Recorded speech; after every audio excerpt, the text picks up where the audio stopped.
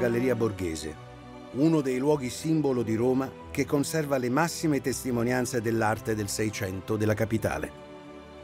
Fu il cardinale Scipione Borghese, amico e parente dei Sacchetti, nipote di Papa Paolo V, a volerne la costruzione per custodire ed esporre le opere d'arte della sua collezione.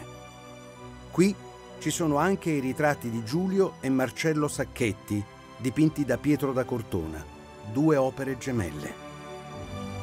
Giulio fu tra i cardinali più influenti del suo tempo e sfiorò per ben due volte l'elezione a Papa, e Marcello, banchiere, raggiunse l'apice della propria carriera quando acquistò la direzione e gli uffici della Tesoreria Generale Segreta dello Stato Pontificio. Per i Sacchetti fu il momento di massimo potere economico. Il ritratto di Marcello, che apparteneva già alla galleria, è dal 2016 affiancato a quello del fratello. La marchesa Giovanna Sacchetti ha deciso di donarlo al museo, ripristinando l'unità della memoria familiare e permettendo il confronto diretto tra le due opere.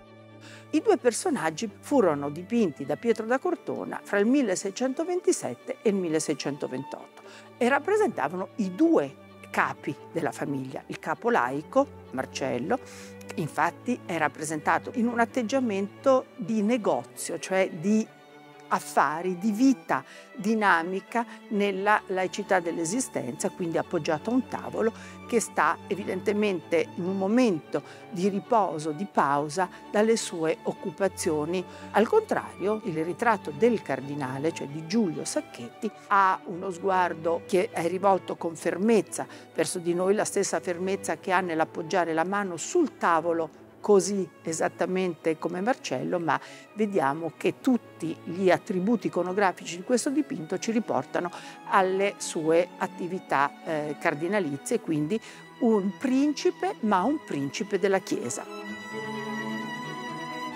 È sicuramente una delle donazioni più importanti fatte ad un museo pubblico italiano.